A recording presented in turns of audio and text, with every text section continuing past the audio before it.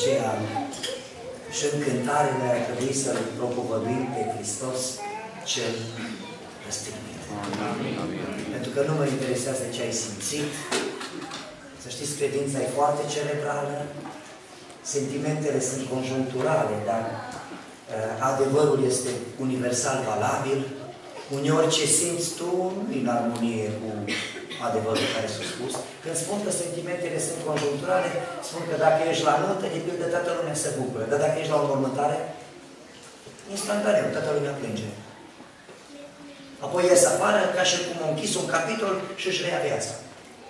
Că sentimentele sunt conjuncturale. Dar adevărul, de aceea o familie nu e condusă de sentimente, ci de adevăr. Dacă seara asta familia ta suferă pentru că uh, ai așa senzația că nu mai simți ce ai simțit când te-ai căsătorit cu ea, uh, sentimentele sunt conjuncturale.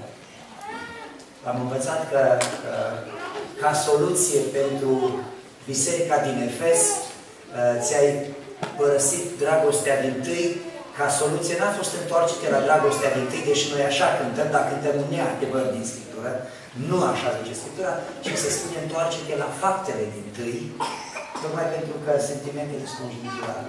Adică, zice Domnul, când ți-ai pierdut dragostea, dacă vrei dragostea să renască sau ca să rămâni în, în asentimentul fratelui Ianuș, dragostea asta trebuie învățată și ca să înveți trebuie să faci faptele dragostei și în absența sentimentelor.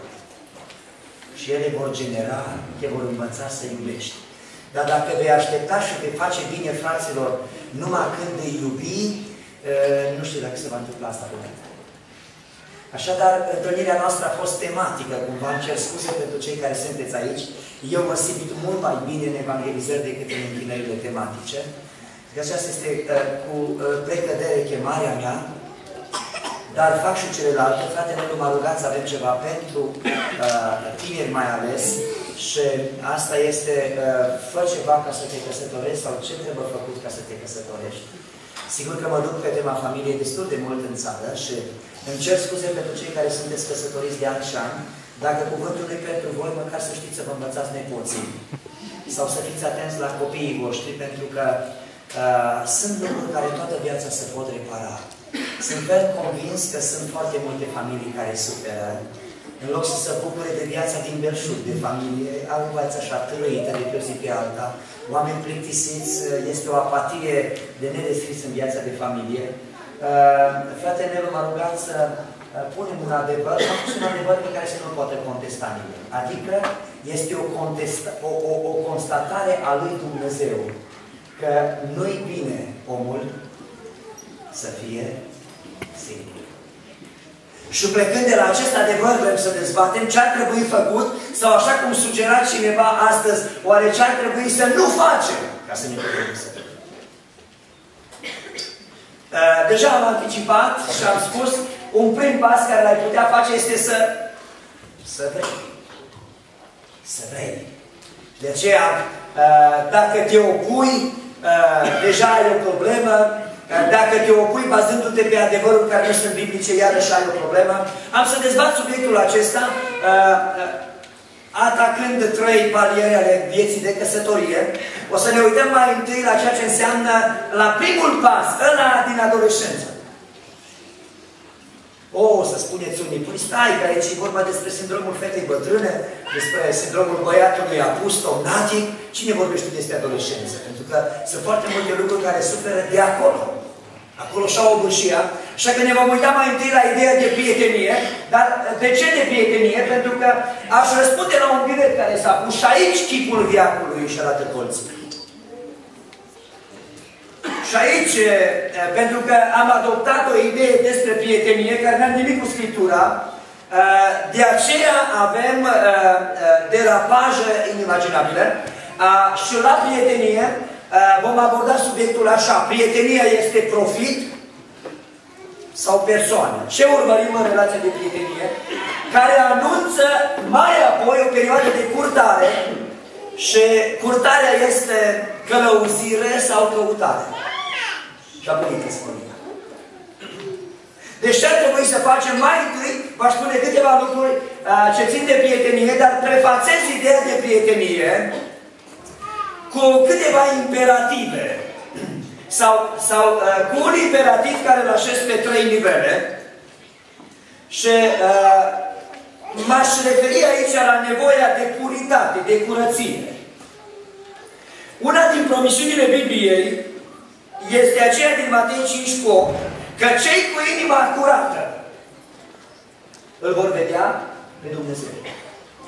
Și asta mă obligă să dezbatem un subiect care îl lărgim și la cei din familie, și cei ce sunteți în pragul familiei. Uh, aș vrea să, să înțelegem lucrurile acestea. E nevoie de curăție și uh, întrebarea, sigur, este cum am putea să ne păstrăm puritatea, curăția. Mai întâi, aș spune că e nevoie de puritate intelectuală, mentală. Tulburările noastre se produc atunci când ni se tulbură mintea noastră.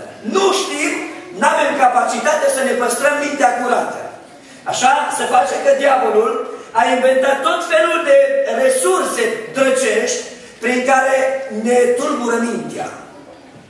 Și când citim în Biblie, noi descoperim lucruri extraordinare, cum am putea să ne păstrăm mintea curată. Deci mai întâi, pentru toți cei care vreți să vă căsătoriți. Deci vreți să vă căsătoriți, da? Înțeleg că vreți lucrul ăsta. Am discutat cu destul de mulți dintre voi. Mi-au spus, eu vreau, dar... Acum eu îți spun care e principiul biblic. Eu nu o să spun acum o rețetă, fii foarte atent. Uh, fă așa, lasă, fă o infuzie de mentă cu nu știu ce, lasă 15 minute de tricând pe zi și uh, luna viitoare o să mă tem la nuntă. Eu spun care este perspectiva biblică, care sunt pașii, cum vede Dumnezeu că e normal să ne căsătorim. Și cei fals, ce, uh, care, care este, este pudoarea falsă, sunt oameni care sunt, uh, ies din toate tiparele. Apostolul Pavel zice un lucru extraordinar, 2 pentru capitolul 3, 2 pentru capitolul 3 și versetul 1.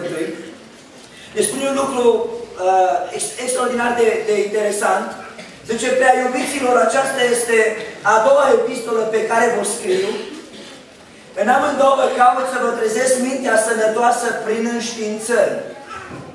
Ca să vă fac să vă aduceți aminte de lucrurile vestite mai dinainte de Sfinții Proroci și de porunca Domnului și Mântuitorului nostru dată prin apostolii voștri. Ce zice Apostolul Petru despre mintea noastră? Mintea noastră se poate îmbolnăvi. Și Apostolul Petru zice, eu caut să vă trezesc mintea sănătoasă și ca să-ți rămână mintea sănătoasă, ea trebuie mereu și mereu scăldată în ceea ce spune Cuvântul lui Dumnezeu, ce spun Sfinții Proroci și ce a spus și ce spune porunca Domnului și Mântuitorului nostru Iisus Hristos. Să se strângă mintea, să se alterează mintea. Dacă nu ți-o lași îmbibată, scăldată, cufundată în legea desăvârșită a lui Dumnezeu. Mai întâi ne trebuie o minte sănătoasă. Te uiți la câte un bărbat, la un băiat, la o fată, nu-i bună mintea. N-are minte. Cineva așa, uh, este, este, să știți că între bărbat și femeie este o, o diferență colosală și de aceea nu-i cred pe ăștia care zice, ce face, noi ne potrivim. Este așa o, nu vă potriviți deloc. Tocmai asta e minunea lui Dumnezeu, că erau doi oameni total diferiți și îi face să funcționeze împreună. Și aici sunt oameni, bunicii lor au avut 76 de ani de căsătorie și au fost în biserică la noi. 76 de ani de căsătorie.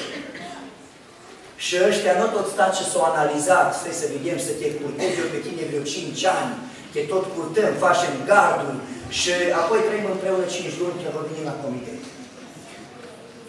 De ce nu a făcut asta? Că era puritate la nivelul minții. Era mintea curată. Și cei curați cu inima știi pe cine îl văd? Îl văd pe Dumnezeu. Și Apostolul Petru zice, singura modalitate de a-ți păstra mintea curată este ca mintea ta să fie scăldată în ceea ce spune Cuvântul lui Dumnezeu. O minte neechilibrată de Cuvântul Domnului. Este o minte blestemată. Noi nu avem timp în seara asta, dar voi acasă citiți Roman capitolul 1, mai ales de la versetul 18 în jos, și veți vedea că o minte care nu caută să-L păstreze pe Dumnezeu în lăuntru ei este abandonată de Dumnezeu și să, să activează o judecată temporară a lui Dumnezeu. Judecata temporară a lui Dumnezeu, știți care este? Că Dumnezeu își retrage mâna și rămâi tu cu mintea ta. Este un prim, un prim pas al judecății. Dumnezeu te lasă în poia minții tale blestemate. Și de aceea îți trebuie curăție a inimii. Și mă rog pentru toate fetele, mă rog pentru toți băieții și pentru toți părinții. Vedeați ca pruncii voștri să nu-și altereze mintea. V-am dat numai un exemplu. Da, așa e, 8 la 1 și jumătate între noi și musulmani. Pentru că el la 5 ani știe jumătate Coranul, ateu la 5 ani știe un bloc de iPad. E diferență. Zice, vai, voi ăsta el ne învață pe noi, zice. Spuneam numai acela că ne ducem într-o policlinică, acolo să tot scoatem o rețetă pentru socrii noștri și uh, am stat în timp ce ei era înăuntru și erau uh, uh două doamne, am două bunicuțe și să lăudau. Ce poate este înjură, zice, cum înjură să-l auzi după aceea. Fie aia, ce zice, mintea. Hrănește mintea pruncului tău, a copilului tău. De ce? Să rămână sănătoasă. Că s-a tulburat societatea, nivolnată societatea. A noștri nu e bine să creadă că are 20 de ani și eu îi spun când să pornească calculatorul. Trebuie să aibă autoritate, că altfel să dezechilibrează. Butonul la mine, la tine. Ești acasă la mine. Încă ești în custodia mea. Eu de tine voi da socoteală înaintea lui Dumnezeu. Nu vă obișnuiți cu chestia asta că s-a dus în camera lui, are televizorul lui, laptopul lui, tableta lui. Nu, dragii mei, lui la mine. Pac, s-a oprit tot. Comunitate. Și ce se întâmplă seara când îi spun acela, zice, ai, ai luat tot? Zic, nu. Când mă duc și iau, când iau, pu, pu, pu, au sus, la câtă lume se pune, să vedem. Își tulbură mintea. Deci ne trebuie curăție a minții mai întâi. De ce? Ca să abordăm prietenia corect. Dacă băiatului îi bolnavă mintea și fetei îi bolnavă mintea, are probleme în prietenie. El confundă prietenia cu anatomia dacă e bolnavă mintea. Și asta se învață în clasa 7 a România, nu prietenie. Doi, ne trebuie puritate morală. Ne trebuie valori morale, trebuie să rămânem curați la nivel moral, să gândim sănătos la nivel moral. Efectul, uh, uh, efectul inimii neancorate în cuvântul Domnului este imoralitatea din pudoare. Dar pune totul să le citim. Pune-ne un pic Roman, capitolul 1, versetul 28-29. Vă rog să vă uitați uh, care e degenerarea în care se ajunge din pricina minții care afectează inima fiindcă n-au căutat să păstreze pe Dumnezeu în cunoștința lor. Dumnezeu i-a lăsat în voia minților blestemate ca să facă lucruri neîngăduite. Oare care să le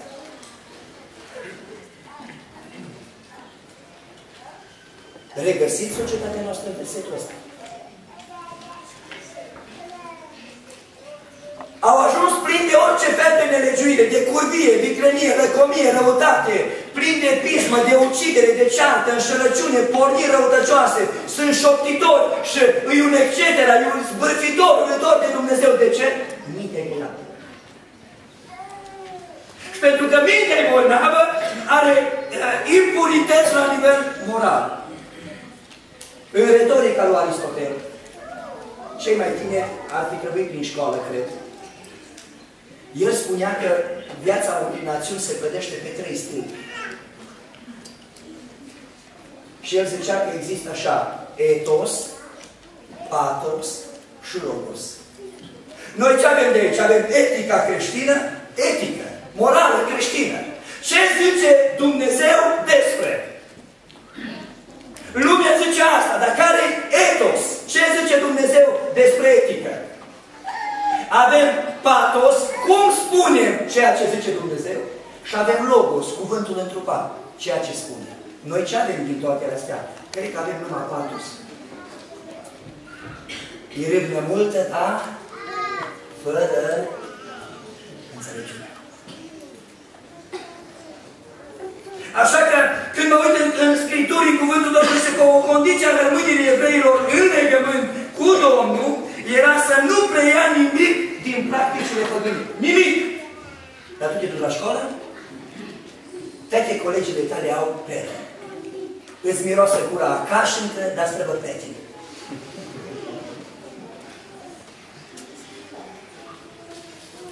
Și nu mi locul asta. De unde ai luat tu asta? De la colegi. Eu așteptam fetele mele când ieșeau de la liceu, când mă nimeream de acolo și hai să vă ducă tata acasă. Asistam la o scenă incredibilă. Că la liceu era uniforme, dar ieșeau tipele din la Și eu stăteam, mă, numai mea, ce nu mai bine. Și vedeam, le așteptau mașinile. Tari, înțelegeți, tari. Și își dădeau ele uniformele jos și rămâneau niște egărași. Și apoi, pum, pum, pum, se închidea ușile. Și fetele îmi spuneau, tata, este tăteau prieteni. Dragii lui tată le-am spus, spuneți-le așa la colegii voastre. Voi ca ele puteți fi acum. Ele ca voi niciodată. Nu te umili cu asta! Păstrează spuritatea morală. Tu ca ele poți fi azi. Dar ele ca tine? Îți trebuie puritate. Dacă nu există asta, am definit greșit ideea de prietenie. Voi aveți prieteni. El are 10 ani, încă mama s-a trebuie să-l îmbrace dimineața la școală, își uită ghiozdanul când mere, dar trebuie să mă de mână. Sunt foarte atent ce vă spun. Și mama s-a mai poate de luată când se uită la anul. Extraordinar ce picior are mama. Las că vezi. Așteaptă și să vezi ce are. Că fiecare culege ce se mănâncă. În al treilea rând, ne trebuie puritate spirituală. Ne trebuie o gândire biblică. Ca să nu-i spui fratelui din comitet, nu mă lua cu versete, zice. Te duci și spui, uite ce zice Dumnezeu. De ce nu mă lua cu versete? Dar de ce să te iau? N-are gândirea biblicizată. Când tu adormeai acasă la tata, el te adormea cu povești din Biblie. Dar tu citeai cu cine adormi? Ricky Martin, Brad Pitt, că e tableca. Vorba unui frate, am numai de mângâie. Pagina după pagină. Și își de ochii și își tulbură minte. Deci când abordăm prietenia și curtarea, ne trebuie gândirea curată. Nu luați modele din Arganda. Că noi ne lăudăm că suntem popor. Ca să putem aborda biblic, ne trebuie puritate intelectuală, o minte sănătoasă, ne trebuie puritate morală, o, o etică creștină în abordarea lucrurilor și ne trebuie puritatea spirituală. Pentru edificarea noastră, sigur că am putea citi texte nenumărate din Biblie, dar nimeni nu poate sluji la doi stăpâni. Ar putea cineva să-mi definească prietenia? Ca să trecem la pasul acesta. A, ați putea să-mi definiți prietenia? Ținând cont că ne trebuie puritate la toate cele trei nivele, ați putea să-mi definiți prietenia. Tu ce ai numit un prieten? Hai să încercăm câteva variante. Uh, ce ai numit uh, aceea prieten? Ce era? Ce e aia? Ce zici, Rodi? Ce înseamnă să ai prieteni? Ce, cum vedeți un prieten? Am vrea să, am vrea să luăm uh, exemplu din Biblie, dar de unde? Cineva m-a întrebat, de ce frate Marcel, noi totuși, nu suntem și noi, suntem prieteni, cât de aproape putem să stăm? Ne uităm imediat uh, la atingere. Cât, cât de aproape putem să stăm? Cât să capă Hristos între voi, am zis. Dacă e mic, stați foarte aproape. Dacă Hristosul vostru e mic, foarte aproape. Dacă e inexistent, și dacă sunteți așa, este drumul iadului. Deci, ce înseamnă un prieten? Ce e un prieten? Cum ați defini un prieten? Dicționarul explicativ al limbii române, știți ce zice că înseamnă un prieten? Dicționarul explicativ al limbii române zice că e o persoană de care, fiți foarte atenți la asta, că am constatat că leagă destul de bine, că prieten, prietenul este o persoană de care cineva este legat printr-o afecțiune deosebită, bazată pe trei lucruri, pe încredere, pe stimă reciprocă, idei și principii comune. Că vă place definiția asta? Și e siacă, e științifică. N-are nimic sentimental în ea. Poate că prietenia nu trebuie să aibă ceva foarte sentimental. Poate că trebuie să aibă foarte cerebral. Prietenul, prietenul este o persoană, prietena este o persoană de care cineva este legat printr-o afecțiune deosebită, bazată pe încredere, stimă reciprocă, idei sau principii comune. Vă rog să ne puneți un text, ca să ne citim din Biblie, 1 Samuel, capitolul 18, 1 la 5, să vă citesc despre doi băieți. Și apoi ne uităm la prietenia între uh, sexe opuse.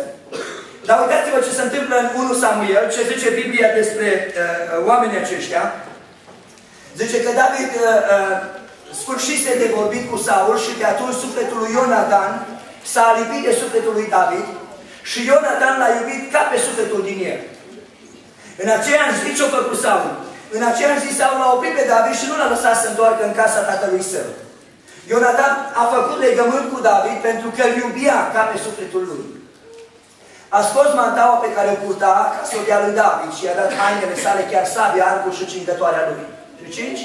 David se ducea și îi oriunde îl trimitea Saul, a fost pus de Saul în fruntea oamenilor de război și era plăcut întregului popor, chiar și slujitorilor lui Saul. Ce înțelegeți? Cum ați definit prietenia din perspectiva acestei relații uh, David și Ionatan? Că ce-i prietenia?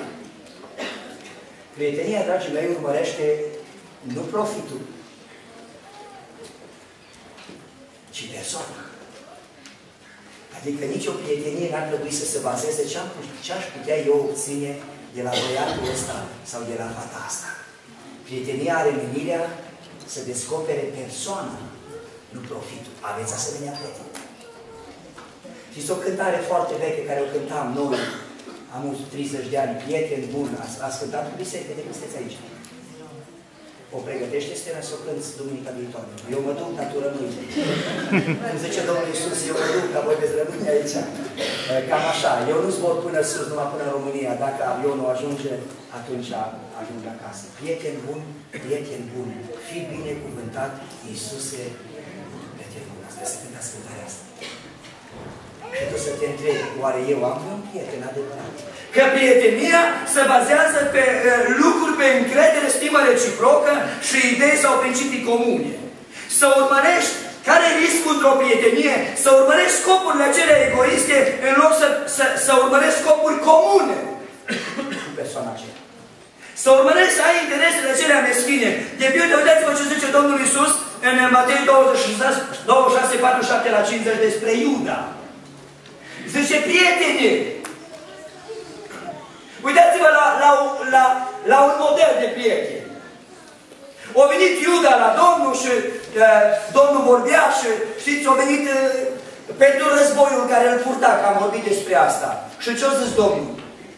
De acela pe care îl voi săruta, acela este să puneți mâna pe el. Și a venit Iuda și s-a plecat înaintea Domnului și chiar l-a sărutat, iată ce zice Domnul. Prietene, tu ai greșit definiția prieteniei. Tu urmărești nu persoana, tu urmărești profitul. N-ați văzut oameni care vor să se facă prieteni cu ăia mari. Nu îi interesează deloc persoana. N-are nicio treabă. Este așa și prin mișcările evanghelice. Pe cu ăia mari, nu știu ce mare e el prin comitete, se face prieten. Dar de ce? Pe el îl interesează profitul. Când de așa, în anii preadolescenței, adolescenței, lucrurile se complică cum nu vă puteți imagina. Și Domnul zice, prietene, eh, care e problema ta? Prietenul adevărat, zice Proverbe 17 cu 7, ce zice despre prietenul adevărat? În primul rând ce face? Iubește oricând. Și cum ajunge el în situații limite? Aveți un... Vă vine în minte acum un prieten adevărat. Deci aici nu vorbesc de câți aveți pe Facebook. Și unul din prietenii noștri a rămas în pană pe la tur, dar trebuie să ajungă la Cluj. Și s-a dus să schimbe rota și pană și pe rezervă. No, era la 1 noaptea. A zis, nu, acum sună. Pe cine să sun la ora asta? Soțul zice, omul din sutile cât ai tu prieteni pe Facebook. A, ce, nu vin la 1 noaptea, adevărat. Că ai prieteni care nu m-am mânghiet la cine, atâta Domnul, să găsești mânghirea pe tine. Să mânghierile costă la cine.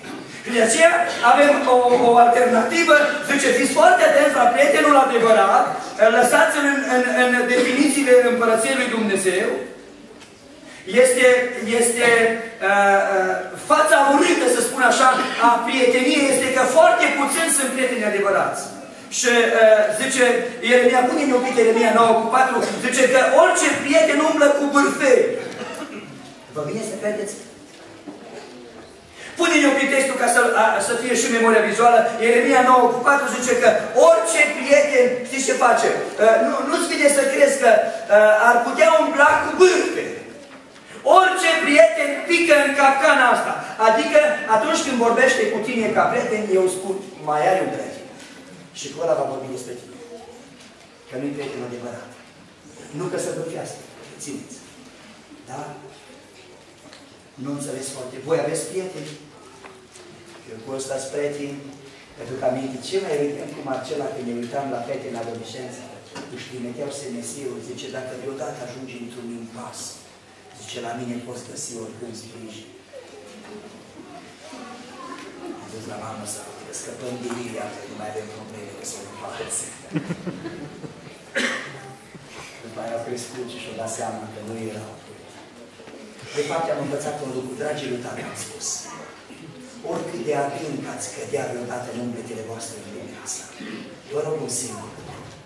Întoarceți-vă acasă. Te rog, mai întunera crunt, dar vină te rog să plângem împreună. Hai, întoarce-te acasă. Te rog, nu te duce la prietenii tăi pe Facebook. Hai acasă. Și vom vedea cum Dumnezeu ne ridica rănile. Stăm lângă Domnul. Până acum s-a întâmplat asta. S-a întors mereu și mereu, mereu și mereu. Și am rămas prieteni rău. Ne rugăm să rămânem așa, dar nu știm niciodată cei care avem copii încotro și cum să vă întâmpla lucrurile. Așadar, avem nevoie mai întâi să înțelegem ideea de prietenie ca să o putem dezbate, care câteva dimensiuni.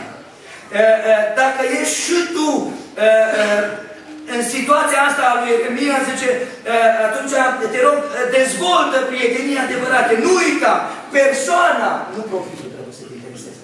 Acum când te gândești la o prietenie în vederea căsătoriei, de pildă, la ce te-ai invitat la el?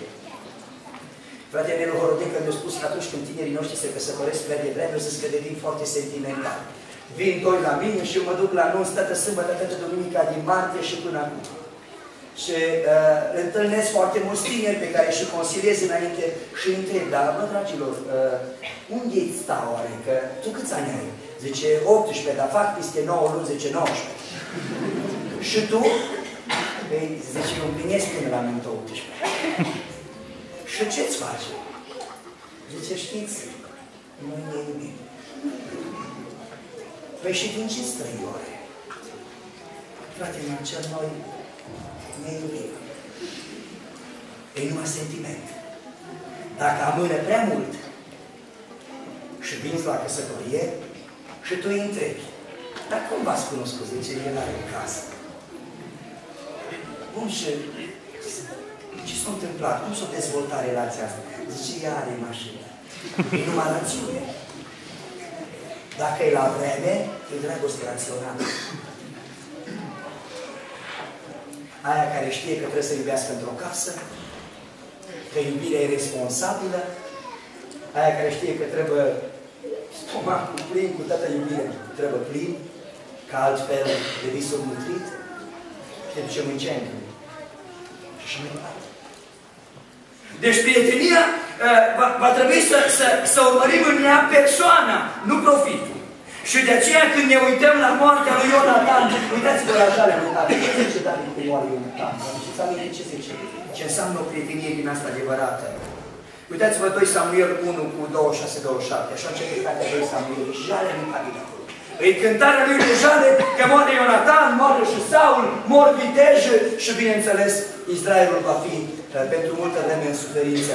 Mă doare după tine, frate Ionatan. Tu erai plăcerea mea. Dragostea ta pentru mine era minunată mai presus de dragostea femească. Nu puteți imagina ce înseamnă plete? Ba a spus, nu plângeți, nu jăliți fiice ale Ierusalimului. De ce? Să n-am filistenii și să se bucure. Cam așa se încheie povestea asta a prieteniei și cam așa o definește Scriptura și cam așa înțeleg eu prietenia adevărată sub aspectul ei social, moral și chiar spiritual. Dar prietenia este și între o fată și un băiat. Și are și asta dimensiunea ei și în primul rând, aici trebuie să înțelegem că lucrurile trebuie să se subordoneze ideii centrale și a lecției și a frământărilor noastre, că libertate, libertate liber prin Duh de a, de a face, nu înseamnă rebeliune. Ascultați-mă ce vă spun, că au cântat frații despre Fiul Risipitor. Fiți foarte atenți ce vă spun, am tot vorbit cu frații trei astea pe nopțile astea. Când tu nu vrei să rămâi dependent de casa tatălui, când vrei să pleci din, din spațiul patriarhal, tu ajungi dependent de un străin din țara porcii. Să ne minte ce vă spun. Când tu crezi că rămâne în biserică, de pildă, tânărul care ai principii, care ai principii la nivel de intelect, ai principii la nivel moral, etică, și ai, ai, sunt principii spirituale. Tu zici, bă, mă duc aici, văd că prietenia uh, nu are nicio treabă cu ce văd eu la colegii mei. Și te duci, ține minte ce spun acum. Dacă nu vrei să rămâi dependent de tată, tu devii dependent de un străin din țara porcilor. El, o, fiul risipitor, reinterpretează libertatea și zice libertate înseamnă, care de aici interpretați așa? Libertate înseamnă să fac ce? Ce vreau? Ai libertate? Zice Ioan, în pilda fiului risipitor, asta înseamnă robire. Tu devii dependent de un străin din țara porcilor. De droguri, de tutun, de alcool, de pornografie, de indecență și imoralitate? N-ați auzit tine care spune că dacă, auziți să scrie delegat de Domnul, că dacă nu îl să se îmbrace cum vrea, nu să vină la biserică. Nu-ți vine să crezi. Atât delegate de Domnul, Pavel întreabă în Roman capitolul 8, cine ne va despărți pe noi de dragostea lui Dumnezeu? Cine ne va despărți? Pavel încearcă câteva posibile lucruri care ne-ar putea despărți. Și el zice, nici viața și nici moartea nu ne-ar putea despărți. De aceea v-aș invita pe toți tinerii să rămâneți legați nu de o casă de modă. Oricât de înguște ar fi niște frați, orice ar fi, nu te lăsa de Domnul. Punct. Atât. Și va veni și vremea când oamenii vor înțelege. Dar deocamdată, în prietenia aceasta, uh, uh, trebuie să înțelegeți prima regulă că prietenia nu e anatomia. Corpul uman nu se învață în, în perioada prieteniei. Să vă dau un exemplu de ce e periculoasă starea asta. Să ziceți că aveți vreo cinci prieteni, că ăștia așa se laudă, câte prieteni au avut. Și ai făcut tot felul de gesturi și ai spus lucruri necugetate și apoi așa s-a căsătorit. Și rămâne în biserica în multe lesiuni. Și soțul tău vine dintr-o altă biserică, de la Elim, să zicem. Vine și se căsătorește cu tine. Și aude că primul tău prieten a fost X. Și apoi după o lună zice că ai mai avut un complet și Y. Și toată axa asta a X-urilor și a Y-urilor e plină de prietenii tăi. Eu te întreb ca bărbat, tu mai poți sta în lumea asta? Eu zic să se cadă fusă și să te duci la fratele Crișancu de la Elim De ce? Pentru că suntem total diferiți. Dacă prietenia tu o interpretezi în spiritul lui și o fost anatomie, eu îți spun, soțul tău nu poate sta aici. Dar să mută din Argana, să duc în Zaragoza. Departe. Că n-ai înțeles ce înseamnă ideea aceasta de prietenie, libertatea, sfințirea, uh, puritatea asta uh, te obligă să tratezi prietenia urmărind persoana nu profitul. Nu cred într-un băiat care urmărește scopuri meschine, ticăloase, să le obțină de la mine ca fată, că mi-ar fi prieten.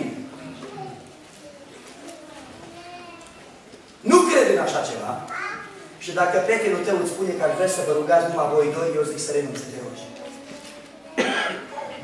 Are așa bine un duh cristian, când e cu tine de mână prin argan, dacă n-ați venit la biserică după masă, sunteți în parc, și are el așa că ar vrea să mergeți la el acasă să vă rugați. Avem un moment, este bine, zice. Eu te sfătui, mi-aduc aminte când eram în școală, că fratele uh, uh, Bunaciu trebuia să face o practică a predicării de la om la om și te duceai prin Cismiciu și predicai la oameni. Și au venit doi băieți și au zis, frate uh, Bunaciu, erau pe o bancă două fete. Și m-am dus să le spun despre Domnul Isus. Și o zis că să mă duc să le spun acasă. Bă, zice, cu alea lasă de evangelizat.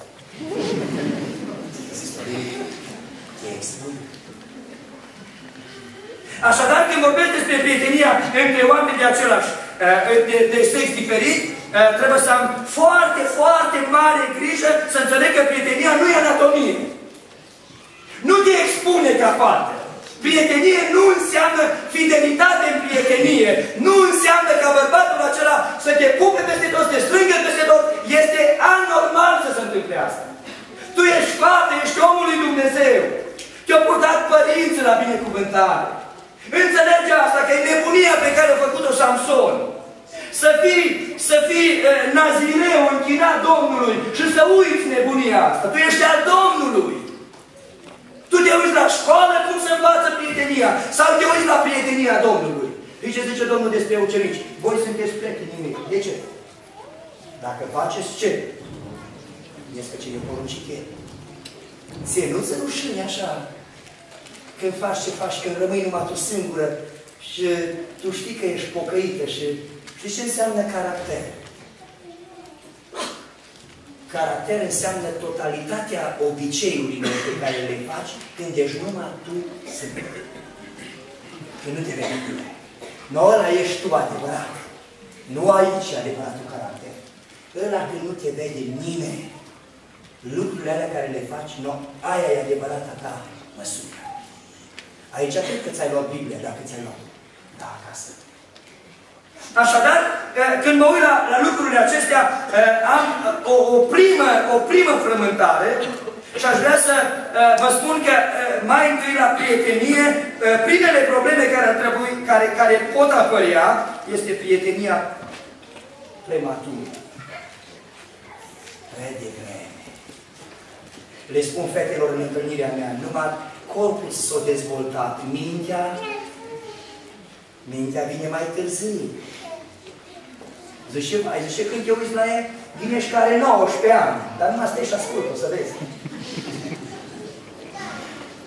Este undeva că cineva și-a căsătorit fata pe la 14 ani și eu, el a avut 20 de ani și a venit soțul și a întrebat unde e și a cătat un vecin și a fost și o vecin a spus că e dusă pe coste cu Sandra.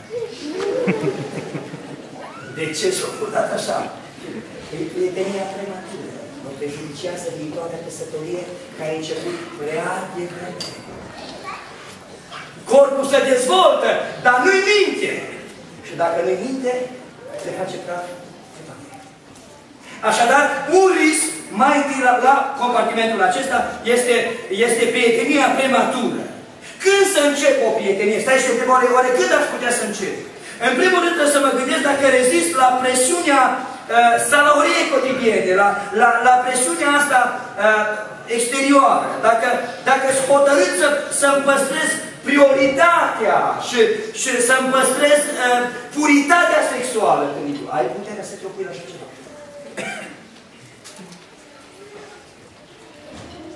Apoi, părinții sunt de acord. Am să vă spun ceva tuturor tinerilor și nu mă uh, acuzați de subiectivism pentru că sunt tată și am și copii mai mari și mai mici. Dar părinții sunt o autoritate pe care i-o delegat Dumnezeu. Când un tată și o mamă credincioasă îți spune că relația asta nu e bună, te rog să pleci urechea de două ori ce zis. Când tata și mama spun, dragul lui mama, dragul lui tata, nu cred că nu-i de tine. Te rog să... Eu nu spun să te însoare mama și tata, nu despre asta, nu mă acuzat de așa ceva. Eu spun doar să crezi, să iei cuvântul lor ca fiind venit din partea lui Dumnezeu printr-o autoritate. Când biserica îți spune, toată biserica, sau slujitorii ei, nu cred că e potrivit ce faci, nu se bună relația asta. E o autoritate, te rog să, să ții cont de asta. Deci ai câteva lucruri de făcut. Dacă reziști la presiunea aceasta uh, a jugului unei prietenii, dacă ești hotărât să păstrezi uh, puritatea sexuală, ești, ai lucrul ăsta în minte. Și trei, dacă părinții sunt de acord. Care e scopul unei prietenii? Domnul care ar fi scopul unei prietenii? Dacă nu are scop, Niculiță, uh, uh, Emil Chioranu cânt o cântare, nu ne lăsa să ne îmbrăim Iisuse de izbândă, căci fără cel ne prăbușim în moarte și o sândă. Oare, stau să mă întreb, are prietenia un scop? Tu de ce vrei să ai prieteni? Ce? Care e problema? Care e scopul prieteniei? Cei mai mulți intră în relația asta de prietenie presați de atracție. Presați de, de uh, ceilalți. Nu uitați că în prietenie persoana contează, nu profitul. Așadar, prietenia mă conduce în acel tip de, de socializare în care cunosc persoane, caractere. Nu împlinesc pornirile. Prietenia are menirea să mă ajute să descoper oameni. Prietenia nu are o altă menire. Prietenia mă ajută doar să cunosc oameni. Că dacă tu ești băiat, ce zici, Nelu, cum ți-ar fi fost să fii avut vreo 10 surori de aici prea tine? Bianca, iată. Că Nelu a fost cu mine, pe ghimare. Uh, și acum să ajungi liber la tineret. Și vrei să le spui la tine despre puritate și trist cu capul pe sub că nu mă arăt pe tine. De ce?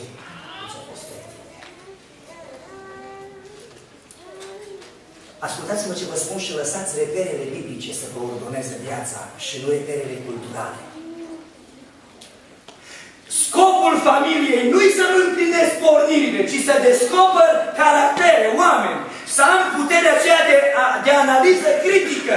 Când stau cu o persoană vorbind cu ea, să știu să descoper oameni. Ăsta e rolul prieteniei.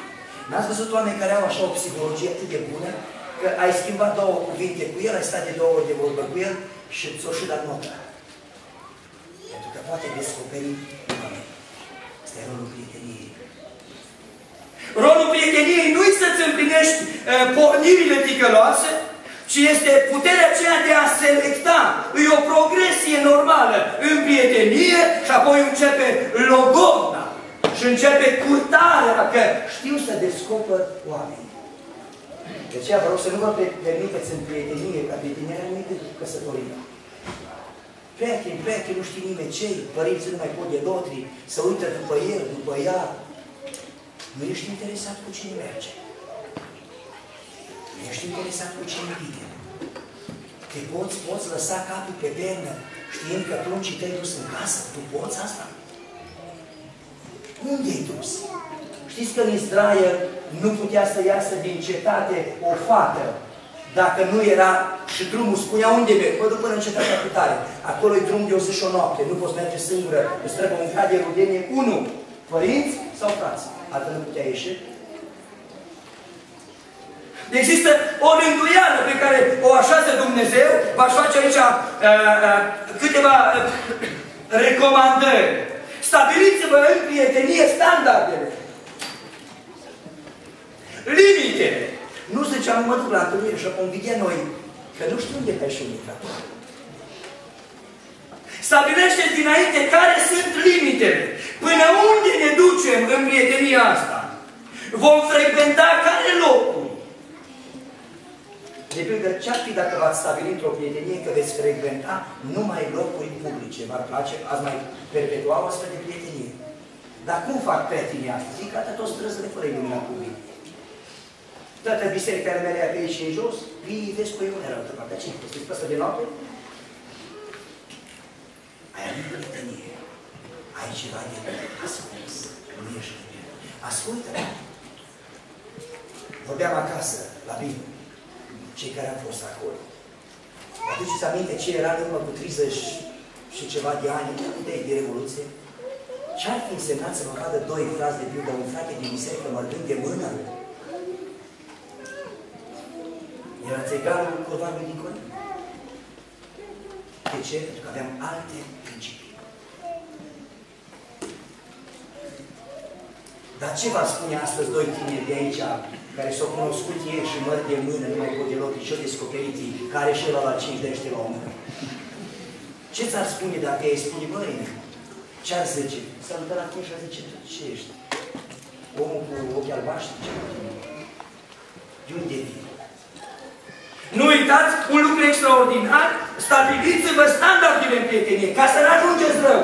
Stabilește dinainte eu, eu ce permit în relația asta, care e limita, până unde vă duc. Stabilește colimare.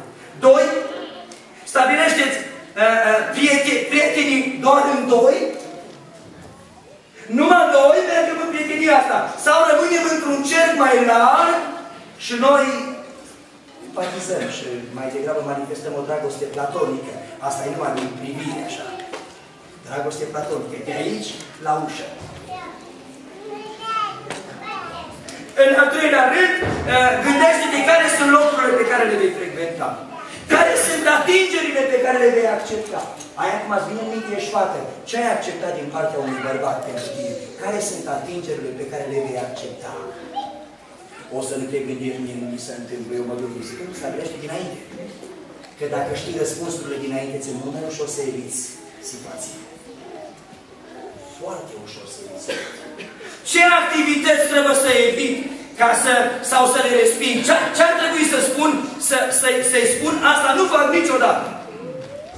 Dacă ai răspunsul înainte să vină ispita, vei discuti de foarte multe De asemenea, uh, uh, dacă standardele uh, le-ai le fixat corect, atunci lucrurile merg bine, dar dacă ți-ai fixat standardele greșite, Dacă vrei o prietenie adevărată a unui om, atunci, în planul de prietenie, dacă ești pregătit pentru orice situație care ar putea apărea, puneți următoarele întrebări. Eu am notat vreo patru întrebări care ar trebui să ți le pui dacă poți intra atunci când intri o prietenie, pune câteva întrebări. Cum vei reacționa, am zis eu, dacă prietena sau prietenul va dori să ajungem la o relație fizică? Care va fi reacția? Nu zice atunci, zic eu, văd eu cum fac, la plec îl zbâr, îl împrăștiu pe păreții ăia, nu? Eu zic că, eu zic că nu împrăștiu nimic. Puneți întrebarea asta și dă răspunsul care. Care va fi reacția dacă el sau ea mă conduce spre așa ceva? Dacă, dacă prietena mea sau prietenul meu vreau să merg într-un loc în care eu nu vreau să merg, care va fi reacția mea? Că e culmea că după ce ne căsătorim că nu vrea să margă. Apoi nu vrea și da. Tu îi spui, băi, nevastă, și mergem până. Nu. Și tu, tu vrei în joc și ca. Cum că prietenii nu se întâmplă asta? Hai să mergem. Ne zici încă o dată. Acasă nu mai zici. O zici, nu, aproape că îți pare bine că nu vrea. Și tu mai zici încă o dată. Și încă o dată. Că dacă te duci într-un loc în care nu vrei să mergi, care e reacția? Să vine minte acum că ai fost în locul în care n-ar fi trebuit să Pentru că asta îți, îți, îți deformează calitatea ta de băiat și de fată. În ce împrejurări voi pune punct prieteniei asta? Care sunt condițiile în care dacă se întâmplă asta, eu opresc din start prietenia asta? Care sunt criteriile după care voi aprecia ca reușită întâlnirea sau prietenia? Cum evaluez când vii seara spui, ești în al nouălea cer și nici nu visezi, dai cu capul și apoi te luminezi la ușă, cam ajuns acasă, că tot ai visat. Cum evaluezi că a fost o întâlnire reușită? Pe ce?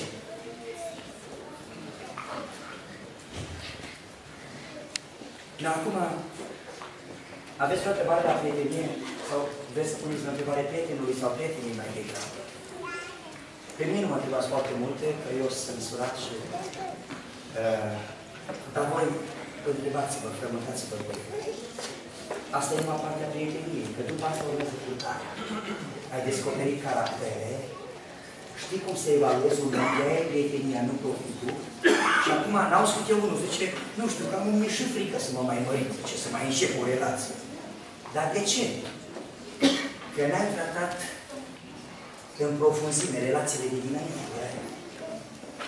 Și eu l-am molestat și poate că înțeles că trebuie să pună capul relație.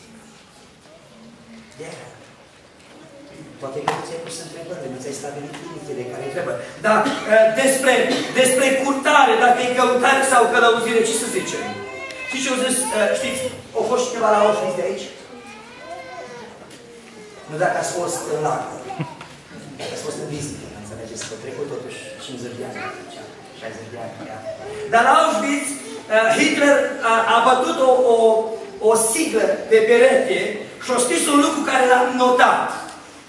Am eliberat Germania dezminterile stupide și degradante numite conștiință și moralitate. Fiți foarte atenți. Am eliberat Germania dezminterile stupide și degradante, ce face zis uh, președintele României? De, uh, de dezminterile numite conștiință și moralitate. Vom educa tineri în fața cărora lumea va tremura. Îmi doresc tineri capabili de violență, impetuoși, neînduplecați, fără milă. Cum crezi că te-ar trata un tânăr de aici dacă l-ai întâlnit cu milă? Auzi ce-a zis bărbatul ăsta, ce-a zis omul ăsta? Când omul se îndepărtează de căile Creatorului, el însuși devine Dumnezeu. Atunci să dezlănțui Când un tânăr nu are principii, când o fată nu are principii, curtarea e teribilă. E teribilă. De aceea fiul risipitor, redefinind libertatea, a ajuns atât de stăpânit. Și cred că unora de aici, nu vă pun în situația asta, dar unora de aici cred că vi de relațiile de prietenie. Că n-ați stabilit principii. Ați crezut că prietenii și acum, cam cum o trasează lumea. Pe acolo ați văzut ce se întâmplă la colțul legalului la școală și ați zis că e prietenia. De aceea am, am, am redus aproape la, am minimalizat și ideea de dragoste, amintea cineva dimineață. Am, am auzit pe unul care zice, și eu te alerg și tu nimic, mai te alerg și omul. Uitați-vă ce atitudine. Dragostea care este din Dumnezeu, să o reduci la câteva vorbe extraordinar de subțiri. Că le-ai spus unde nu trebuie și unde nu trebuie. Și de aceea uh, am să vă ofer și un model biblic de curtare, singurul care e biblic și îi, uh, în vederea curtării, dar Independența asta, adică, adică crezul că la vârsta asta aș putea face orice, că e vârstă. N-ați auzit oameni care spun, bă, tineri, bă. Asta credeți că tinereța înseamnă, uh, e sinonimă cu rebeliunea, că, că e justificat păcatul pentru că ești tânăr? Ce zice David despre cărarea curată a tinerilor? Cum își va ținea tânărul curată cărarea? Cum? Dumneavoastră cum credeți că și-o poate ținea? Numai dacă principiile pe care le are în prietenie și în purtare sunt după cuvântul lui Dumnezeu. Unii de super sfinți și-o stabilit mai mare. O zis Dumnezeu asta, dar eu sunt mai atent. Nu mă mai bag, zice eu, scrie așa, dar nu mai, e super sfântul ăsta. Vrea el până când face el, zice, găsesc eu, vă spun imediat ce găsesc, nu găsesc nimic. Că nici nu ți-o dat ție capacitatea să găsești. Căsătoria nici nu este căutare, că este acceptare. Mi-au zis lui Adam, vezi că am ascuns 10 femei în Eden, catele. Și care îți place el, că nu-i căutare familie. Eu adus-o și putea Dumnezeu să aducă ceva ce nu se potrivește. La ce face Dumnezeu mai este ceva de adăugat sau ceva de tăiat? Dar dacă cauți tu după 20 de ani de căsătorie, începi să te uiți în reviste, ca ta mai primi niște forme în plus față de alea care le avea când ai luat Și tu tot tai, ai mai pune din coce, ai mai pune din col, gândiți mintea sănătoasă. Ce important e să rămână mintea în echilibru. Bărbați care sunt tentați să se uite la femei făcute pe calculator. Ale nici nu există în realitate. E o armă diabolică, aia din tine, aia e adevărată, aia inima mea bate pentru tine. Și vă spun tuturor bărbaților să nu vă comparați vreodată nevasta cu cineva. și soțul să spui, dacă ai fi tu, n-ați auzit? Pe la noi la Necos este o vorbă, ce nu a avut el și nevastă după el, zice că răsturnam. Și femeii sunt așa, și că n-am avut eu bărbat. Ea este nouă heni acolo pe munțele în picioare, că nu au avut ele bărbați după el. Îi răsturna, îi muta. Seara asta oricât te-ar durea, poate acum ești într-o relație de prietenie. dar principiile sunt abdicate, scăzute, ai trântit tot la pământ, te-ai lăsat pradă pornirilor tale, ai vrut să, să rup gura târgului și să impresionezi pe toți, dacă vrei să te căsătorești. Deci trebuie să vrei mai întâi. Prietenia te ajută să descoperi caractere, oameni, nu să profiți ceva, să descoperi nou.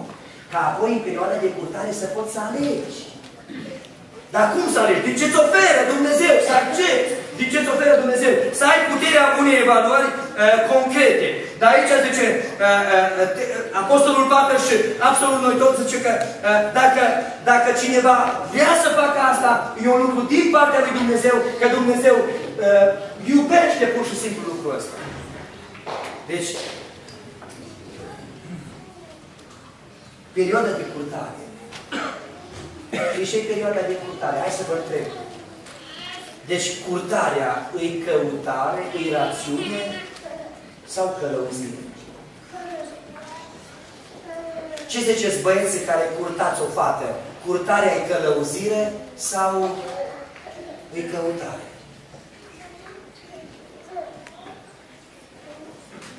Și dacă spuneți una sau alta, dați-mi un model din Biblie. Oferiți-mi un model ceresc. Cum să înțelegem oare curtarea? Uh, aș, v-aș oferi, uh, v-aș oferi un model din Scriptură. Uh, de ce din Scriptură? Poetul național al Germaniei, Goethe, a spus că ridicarea sau coborârea unei nații ține de felul în care aceasta se raportează la Cuvântul lui Dumnezeu. Îți vine să crezi că și în prietenie și în curtare trebuie să ții cont de niște principii. Dar te rog să nu-ți arogi drepturi pe care nu ți le da nimeni niciodată. Adică Dumnezeu nu o să sui că le trec aici prin fața ta și am, am auzit câte, câteva genii din astea care zic, eu nu mă sor până nu găsesc una. Uh, tu ai avea curajul să te lansezi într-o asemenea căutare, că tu ți-ai alege una?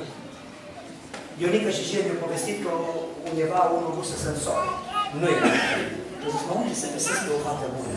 Și o să mă duc la Popeiți, că acolo mai sunt. Și au pus el ochii pe una de la cor, care poate că ieșea de două ori pe program să o vadă tăți, și o zis, nu, asta trebuie curtată. Și o curtată.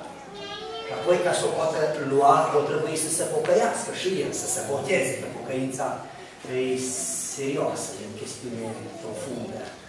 Și frații nu au avut niciun testă pentru el, așa că bineînțeles că l-au botezat. Și după un an de zile, după ce au purtat-o pe fata asta, o luat în căsătorie. Și în sala anunței zice, zice, draga mea, zice, trebuie să-ți dau o veste care te va învista. Zice, eu din sala asta nu mai calc la pocăință. Că mie nu mi-a fost de pocăință, mi-a fost de însurătoare. El se gândea că ea va izbucni într-un plâns isteric. Eu am început să râdă. Și o să stai că nici eu nu mai măric. Zice că nici mie nu mi-a fost de pocăință, mi-a fost de măricat.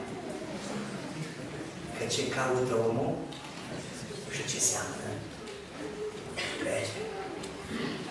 Așadar, când vorbesc despre curtare, mă gândesc care este modelul ăla biblic despre care vorbește uh, Biblia. Înainte de a oferi perspectiva asta biblică uh, pe chestiunea asta a curtării, aș vrea să punctez câteva lucruri care cauzează probleme în alegerea partenerului.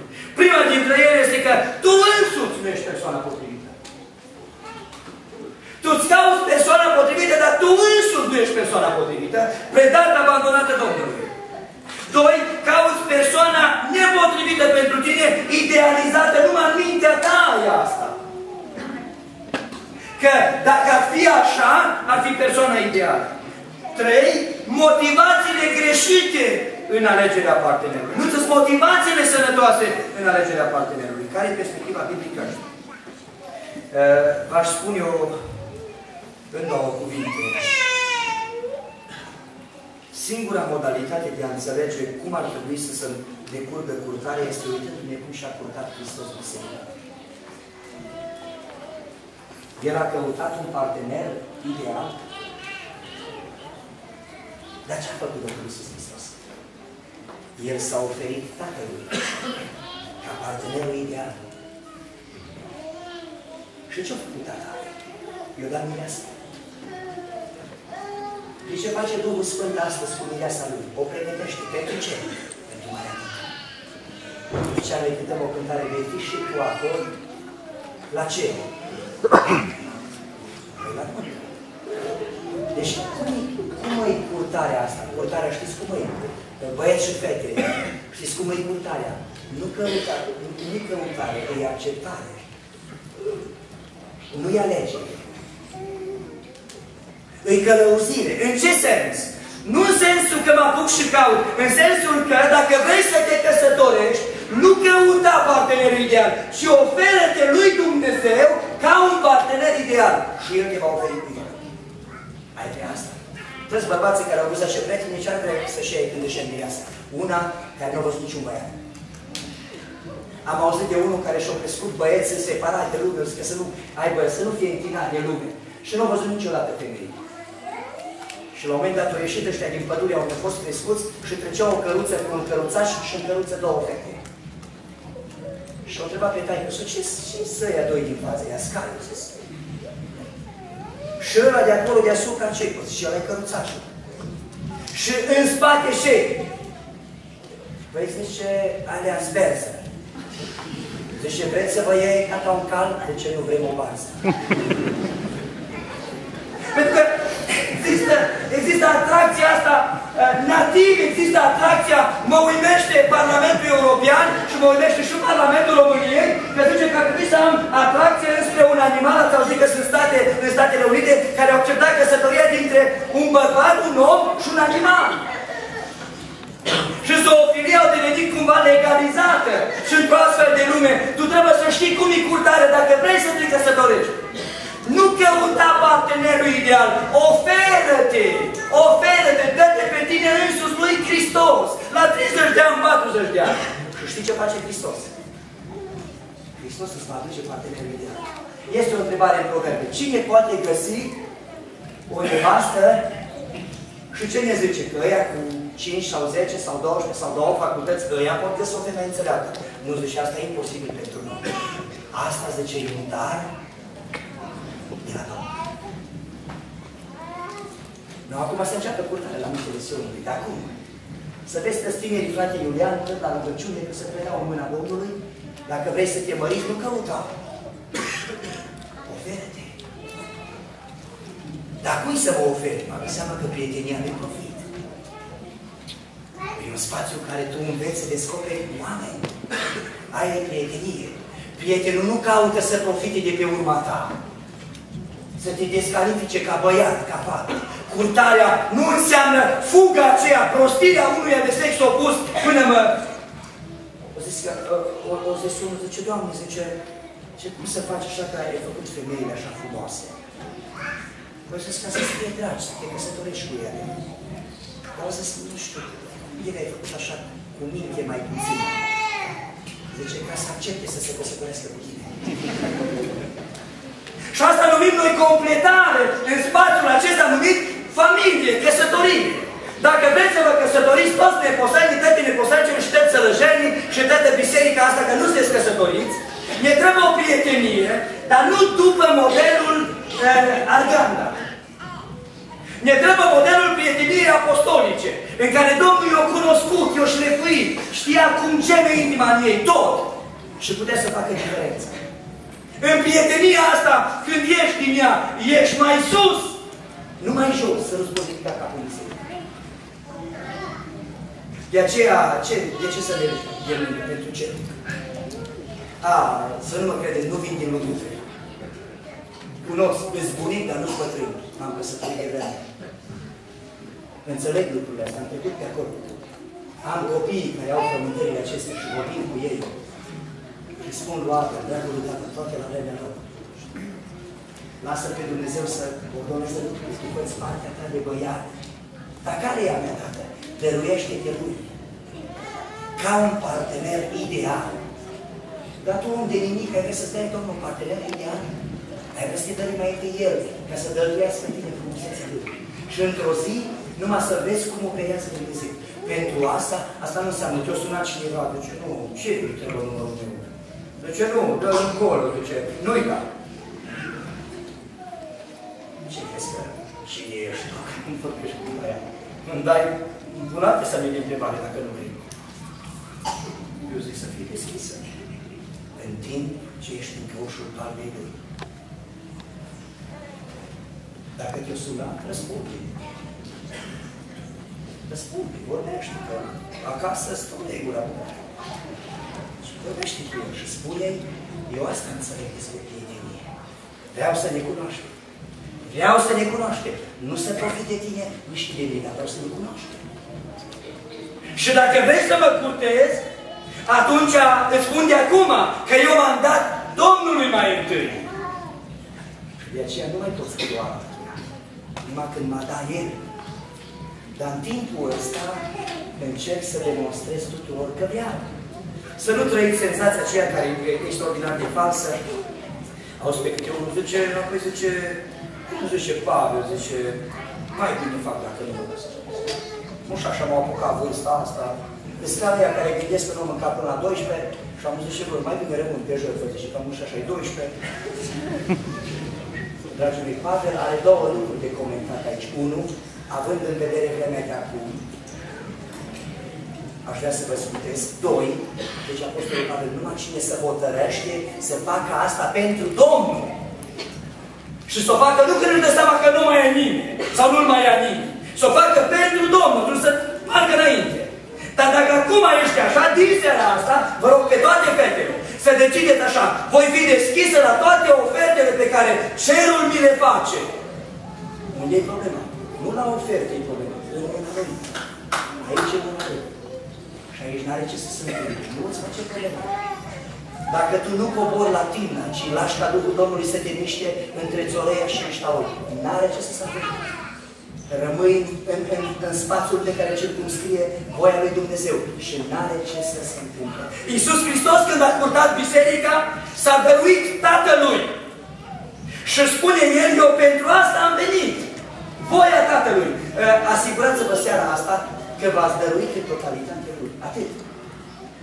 Și că toate prieteniile, dacă acum sunt tineri și tineri aici care relațiile de prietenie sunt, sunt neserioase, te rog în seara asta să te întâlnești cu el aici la ieșire, cu ea la ieșire. Și să spui din seara asta, ne pune viața în viață.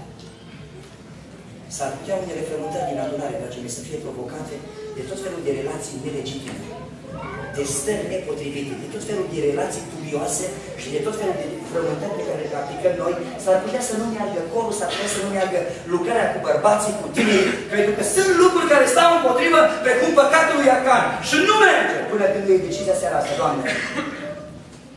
și nu știu dacă, dacă am putea, unde veni, uh, dacă am putea cânta cântarea Doamne, mă predau să, să știe veni. Uh, pregătește un pic, te rog dacă uh, am putea cânta, uh, dar aș vrea să spun că acum când vrem să cântăm cântarea asta, departe de mine gândul că numai cei tineri care intră în relații de genul acesta. Ascultați-mă, Domnul vrea căsătorie, e un lucru bun, e extraordinar. El veghează pentru ca uh, căsătoria ta să fie o reușită. Și în prietenie vă ajută să aveți relația în care nu profitați de celălalt, ci descoperiți oameni, caractere. Lăsați prietenii să fie prietenii, dar încă ușul bandei lui. Nu la biserică cu relațiile tale mizerabile. Nu te duce unde nu ai de mers. Dumnezeu îi spune lui Iona, dacă tu ești evreu și te temi de Domnul, ce cauți pe corabie cu noi? Ce, de ce ești aici? Și de ce luați așa? În seara asta te zverim cântând cântarea aceasta. Pentru că relația de căsătorie este extraordinar de importantă. Nu vreau să, când am zis să mă chemați la nuntă, nu v-am dat niciun alt lucru, dragii mei, sunt sătul de minți. Vreau doar să vă căsători, știți de ce? Dacă v-ați căsătorit fetele și băieții toate acum, ați dat stabilitate bisericii. Când, când o, o, o, o relație se desăvârșește prin căsătorie, ea scutește biserica de tare multe frământări.